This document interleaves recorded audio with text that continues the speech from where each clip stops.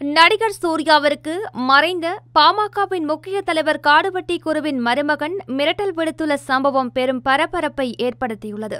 நடிகர் சூர்யா நடிப்பில் நவம்பர் இரண்டாம் தேதி வெளியான ஜெய்பீம் திரைப்படம் அமேசான் பிரைம் ஓடிடி தளத்தில் தமிழ் தெலுங்கு மலையாளம் ஹிந்தி கன்னடம் ஆகிய ஐந்து மொழிகளில் வெளியாகியது. இப்படத்தை பார்த்த முதலமைச்சர் மு ஸ்டாலின் நடிகர் கமல்ஹாசன் இயக்குநர் ப. ரஞ்சித் தெலுங்கு நடிகர் நாணி உள்ளிட்ட பலர் வெகுவாக பாராட்டினர். இருளர் இனத்தை சேர்ந்த ராஜாக்கண்ணு என்பவர் செய்யாத குற்றத்திற்காக காவல்துறையினர் அவரை சித்திரவதை செய்து கொண்டனர்.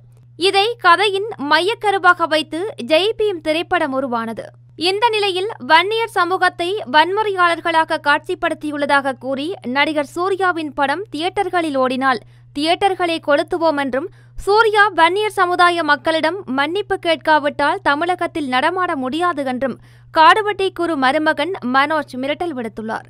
காடுவட்டி குருவின் மருமகன் நடிகர் சூர்யாவிற்கு பகிரங்க மிரட்டல் விடுத்திருப்பது தமிழக வட்டாரத்தில் பெரும் பரபரப்பை ஏற்படுத்தியுள்ளது.